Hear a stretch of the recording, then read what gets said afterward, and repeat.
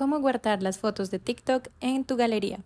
Hola a todos y bienvenidos a este nuevo tutorial. Hacer esto es realmente fácil. Primero ingresarás a la aplicación TikTok. Una vez aquí, buscarás las fotos que quieres descargar. En este caso iré a mi perfil. Y aquí tengo unas guardadas. Como ves, aquí están todas las fotos. Y para descargarlas, solo iré a compartir en la parte inferior derecha.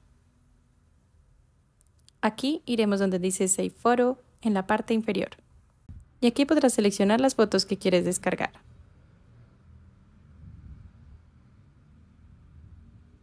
Si quieres puedes seleccionarlas todas y luego irás a Save en la parte inferior derecha. Y las fotos habrán quedado guardadas. Como ves, aquí aparecerán en mi galería. Y eso es todo chicos. Si les gustó, no olviden dejar un like y suscribirse a nuestro canal. Nos vemos en un próximo video.